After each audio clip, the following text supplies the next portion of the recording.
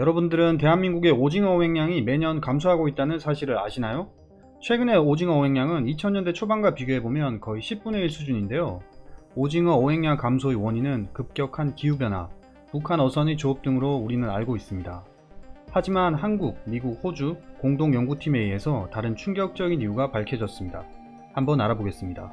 과학자들의 오징어 감소 원인 규명 작업은 2018년 초 비영리 단체인 글로벌 어업감시 박재훈 선임 데이터 분석가가 이정삼 한국해양수산개발원 어업자원연구실장을 만나면서 본격 시작되었는데요. 당시까지는 한국과 일본의 남획이나 기후변화가 오징어 감소의 주 원인으로 거론되었습니다. 하지만 2003년과 비교해 80%가량 준 한국과 일본의 어획량을 이런 요인만으로는 설명하기 어렵다고 두 사람은 판단했습니다. 정확한 원인 규명을 위해서는 중국 어선들의 자료를 파악해야 한다고 보고 국제연구팀과 공동작업에 들어갔다고 설명했습니다. 한국, 호주, 미국의 공동연구팀은 기계학습 기술, 선명한 위성사진, 야간 빛 감지 광학기술 등을 결합해 동해바다에서 중국 어선들의 활동을 분석했습니다. 연구팀은 위성사진 분석을 통해 북한이 배타적 경제수역으로 설정한 바다에서 조업을 하는 외국 어선이 2017년 900척, 2018년 700척에 이른다는 것을 확인했습니다. 이 중 대부분은 자동 식별 장치나 국적 표시가 없는 배들이었습니다. 연구팀은 식별 장치가 있는 일부 어선의 정보를 한국해양경찰 자료와 비교 분석해 어선들이 중국 국적이라는 것을 밝혀냈습니다. 놀랍게도 동해에서 조업하는 어선 규모는 중국 전체 원양 어선단의 3분의 1 수준이었습니다. 보시는 사진은 연구팀이 위성으로 촬영한 사진인데요. 중국의 유령 선단이 동해에서 오징어를 불법으로 잡는 장면을 포착했습니다. 화살표로 표시된 두 척만 선박 자동 식별 신호를 내보내고 나머지는 식별 불가한 불법 조업 어선입니다. 이것은 동북아 지역 어선들의 조업 영역을 표시한 지도인데요. 붉은색은 식별 장치가 있는 어선이고 푸른색은 어선 이외의 선박 움직임을 표시하고 있습니다. 오른쪽 위 빨간색 원으로 표시된 지역이 중국의 불법 오징어 어획이 벌어지는 동해 어장입니다. 중국 어선들의 조업 방식도 충격적인데요.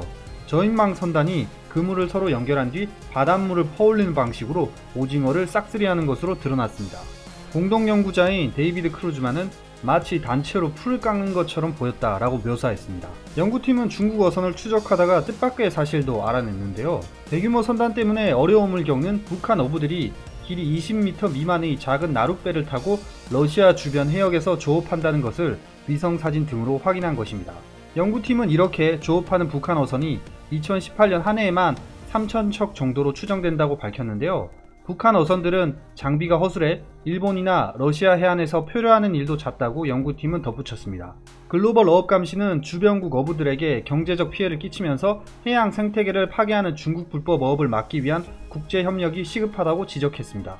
이처럼 연구팀에 의해서 한국의 오징어 어획량 감소의 원인 대부분이 지금까지 알고 있던 기후의 변화로 인한 수온의 변화가 아니라 중국 어선의 동해 불법 조업이란 사실이 드러났는데요. 이 때문에 북한도 피해를 입는 것으로 밝혀졌습니다.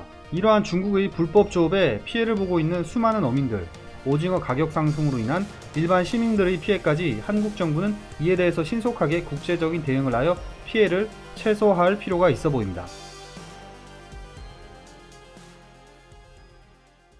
더러운 병균 퍼뜨려 생태계 파괴에 주변국들에게 민폐까지 지구상에서 사라져야 할 국가 1위. 중국한테 국제협력은 너무 어려운 문제. 원제 해봤어야지. 오징어 어획량이 줄어 과학적 근거를 찾기 위해 과학자들 연구했으나 그 원인이 중국 어선의 불법 남획이었다니? 중국, 기대를 저버리지 않는구만. 중국은 정말 땅덩어리만 큰 나라. 극본인 나라. 그 어떤 나라보다도 최하위야. 전 세계 민폐국가. 심각한데 중국몽에 빠져 있으니 한마디도 못하겠네. 샨샤댐 다 넘쳐서 중국 사라졌으면 중국이 전 세계 민폐국인 건 확실. 일본보다 중국이 더 싫어. 요즘 미세먼지 없어서 살만하네. 역시 중국이 원인이었어. 대국이 아니라 대도야. 중국, 지구의 암덩어리인 국가. 지금까지 수석보좌관이었습니다. 감사합니다.